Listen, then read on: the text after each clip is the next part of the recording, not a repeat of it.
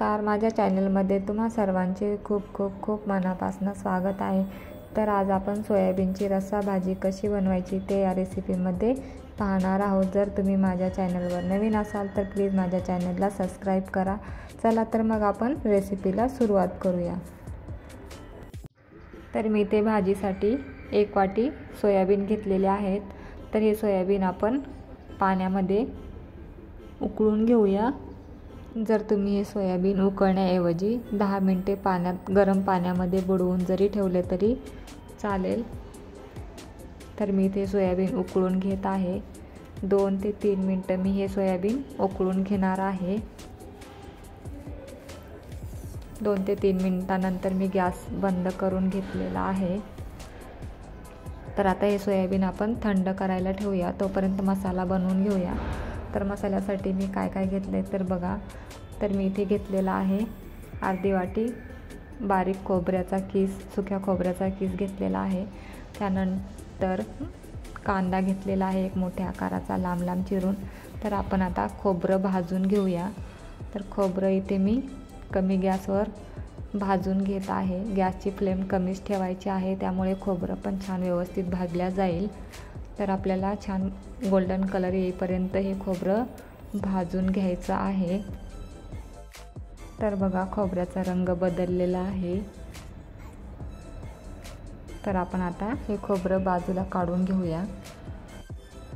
तर खोबरं बाजूला काढल्यानंतर त्याच कढईमध्ये आपण कांदा पण भाजून घ्यायचा आहे. तर कांद्याला पण सोनेरी कलर येईपर्यंत आपण हा कांदा भाजून घ्यायचा आहे.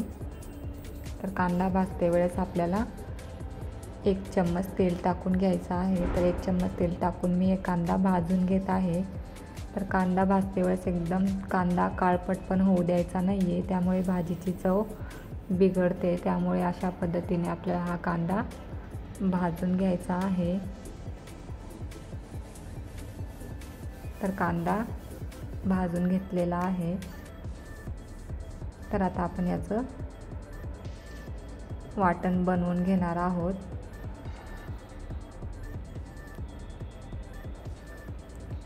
तर मिक्सरच्या भांड्यामध्ये आपण आधी खोबरं टाकून घेऊया. त्यामध्येच आपण आता कांदा टाकून घ्यायचा आहे. तर या दोन्हीचं आपण वाटण बनवून घेऊया.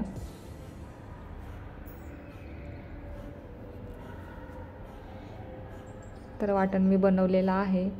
वाटण बनवत्या वेळेस तुम्हाला पाण्याची गरज लागली तर थोडंसं पाणी टाकून पण तुम्ही वाटण बनवू शकता.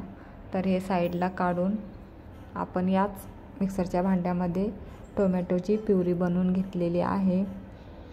तर आता आपण या सोयाबीनमधलं पाणी काढून घ्यायचं आहे. तर हाताने व्यवस्थित पिळून आपण हे सोयाबीनमधलं पाणी काढून घेऊया. सर्व सोयाबीनमधलं पाणी आपण याच पद्धतीने काढून घ्यायचं आहे.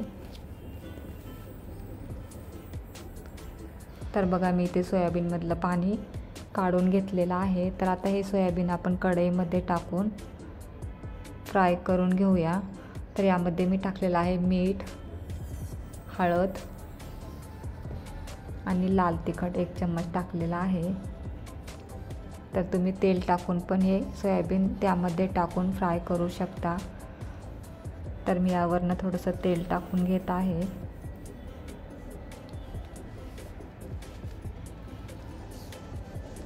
तर दोन ते तीन मिनटं हे सोयाबीन आपण कढईमध्ये परतून घ्यायचे आहेत.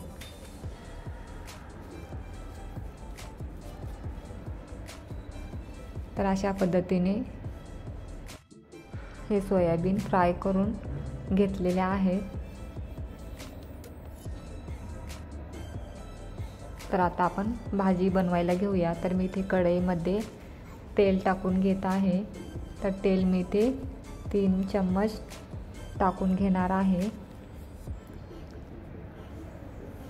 तर तेल गरम झाल्यानंतर आपण टाकून घेऊया जिरे तर जिऱ्याऐवजी तुम्ही खडे मसाले पण या भाजीला वापरू शकता. तर आता यामध्ये आपण जे वाटण बनवलं आहे खोबऱ्याचं आणि कांद्याचं तर हे वाटण आपण आता तेलामध्ये छान परतून घ्यायचं आहे.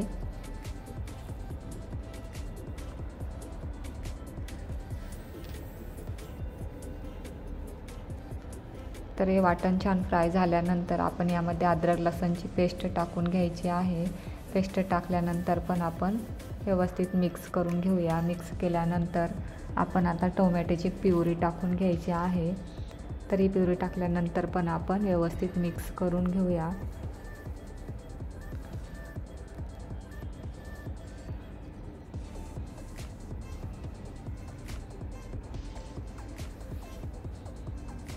तर यामध्ये आपण टाकून घेणार आहोत आता लाल तिखट. तरी अर्धा चम्मच लाल तिखट टाकलेला आहे. धनिया जिरा पावडर टाकलेले आहे.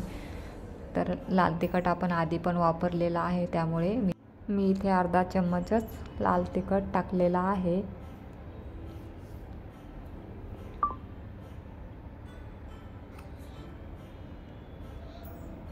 तर आपण आता यामध्ये टाकून घेऊया गरम मसाला. गरम मसाला मी इथे एक चम्मच टाकून घेतलेला आहे. मसाला टाकल्यानंतर पण व्यवस्थित मिक्स करून घ्यायचा आहे. त्यानंतर टाकलेलं आहे मीठ. तर मीठ आधी आपण वापरलेलं आहे त्यामुळे इथे मी कमी मीठ वापरलेलं आहे. तर आता आपण यामध्ये फ्राय केलेले सोयाबीन टाकून घेऊया.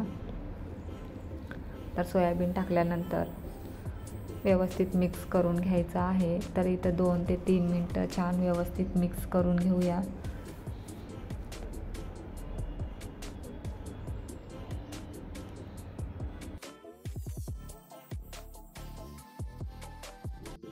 तर बघा किती मस्त भाजी दिसते. पण आपल्याला सुकी भाजी नाही ठेवायची आपल्याला ग्रेव्हीची भाजी बनवायची त्यामुळे आपल्याला भाजीमध्ये पाणी टाकून घ्यायचं आहे. तर मी ते गरम केलेलं पाणी वापरत आहे. तुम्ही पण गरम केलेलंच पाणी वापरा. तर गरम पाण्यामुळे भाजीला अगदी छान चव येते. जर तुम्हाला भाजी कितपत पातळ किंवा घट्ट हवी आहे त्याप्रमाणे तुम्ही पाणी टाकू शकता. तर मला आणखीन थोडीशी पातळ भाजी बनवायची आहे. तर मी पुन्हा थोडंसं पाणी टाकून घेत आहे.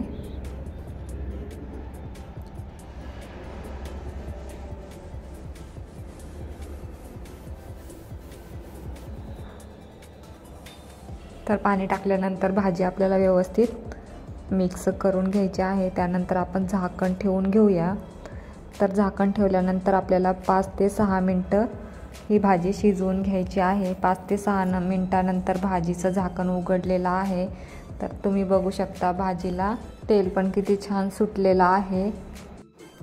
तर भाजीची ग्रेव्ही पण किती मस्त बनलेली आहे. तर तुम्ही पण या पद्धतीने ही सोयाबीनची भाजी बनवून बघा. नक्की तुम्हाला आवडेल. आणि तुम्ही दोन पोळ्याऐवजी तीन पोळ्या खाणार. अशा पद्धतीने अशी ही भाजी आपली तयार झालेली आहे. तर आता यावरनं आपण टाकून घेऊया कोथिंबीर.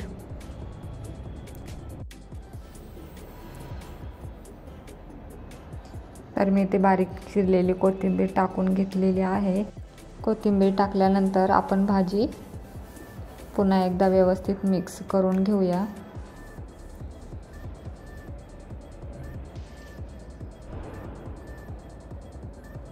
तर बघा किती सुंदर अशी भाजी आपली तयार झालेली आहे. तर आता आपण आपला गॅस बंद करून घ्यायचा आहे.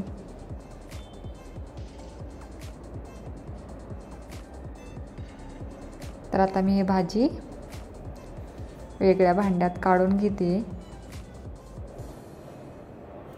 तर बघा किती मस्त अशी भाजी आपली तयार आहे.